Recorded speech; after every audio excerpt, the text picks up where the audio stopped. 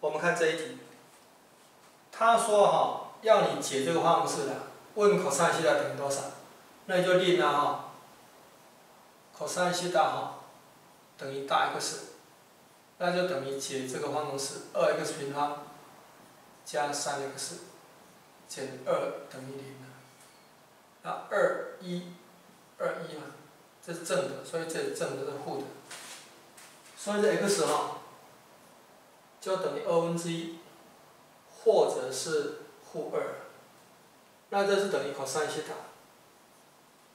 那这不合啊，哦，因为那个 cos 西塔